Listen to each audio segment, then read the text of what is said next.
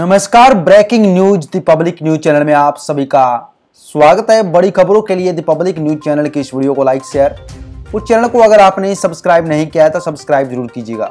आपको बता दें कि देश के अंदर कोरोना पाँव पसार रहा है। कोरोना वायरस के मामले हर रोज चार लाख से ज़्यादा मिल रहे हैं। इसी बीच अलीगढ़ मुस्लिम यूनिवर्सिटी में 20 दिनों के भीतर 44 लोगों की कोरोना से मौत हो चुकी है। 26 प्रोफेसर भी इसमें शामिल है। आपको बता दें कि कुलपति तारिक मंसूर ने यूनिवर्सिटी में कोरोना के नए वेरिएंट की आशंका जताई है। कुलपति की मांग पर विश्वविद्यालय से कोरोना के सैंपल एकत्रित किए गए हैं। अलीगढ़ मुस्लिम यूनिवर्सिटी में केवल 20 दिनों के भीतर 44 व्यक्तियों की कोरोना से मौत हो चुकी है।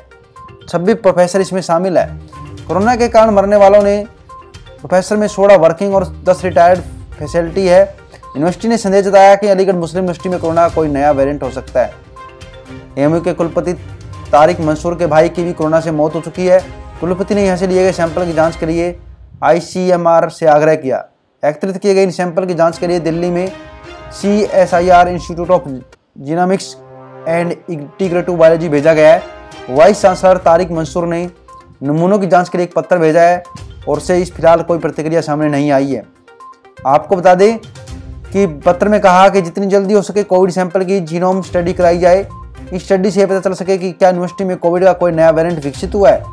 इन प्रोफेसर की कोरोना से मौत हुई है, जिनमें उनके नाम है मोहम्मद अली खान, साठ की जिनकी उम्र है, काजी मोहम्मद जमशेद, पचपन जिनकी उम्र है, अली खान, साजिद अली खान जिनकी उम्र तिरसठ है, मोहम्मद इरफान जिसकी उम्र बासठ है, अजिल फैजल जिसकी उम्र चालीस है, डॉक्टर जब्राइल जिसकी उम्र इक्यावन है, यूसुफ अंसारी जिसकी उम्र छियालीस है, और जैसे इरफान अहमद जिनकी उम्र बासठ है, लोग शामिल है।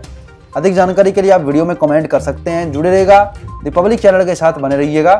इस वीडियो को लाइक शेयर और चैनल को सब्सक्राइब ज़रूर कीजिएगा।